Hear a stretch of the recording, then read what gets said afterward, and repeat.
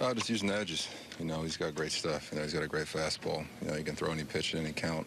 You know, in any spot in the zone, and you know, he was just able to execute his pitches. You know, he didn't make too many mistakes or you know leave too many balls. You know, out, you know, out over the plate that we could you know do some damage on. So he just you know, he did his job.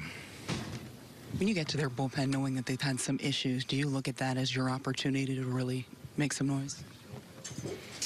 Yeah, anytime one of the best one of the best pitchers in the game, you know, comes out of the game, you know, it's that's always a relief. You know, you want to you know, attack that bullpen as best we can. You know, it's a five-game series. You know, as much as we can wear them down and you know get them get them using that bullpen early is a good thing. You know, so we were able to kind of kind of do that early and you know scratch a couple runs off of them and I just got to build off that going into tomorrow.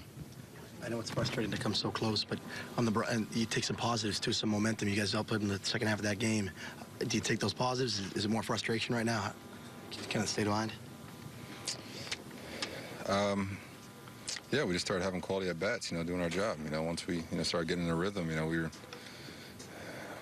when we could play 10 or 11 innings, you know. Um, but yeah, we just got to build off those quality at bats and just, just get ready for tomorrow. Thank you. Frustrating knowing you had you guys did have plenty of chances there in some of the middle innings.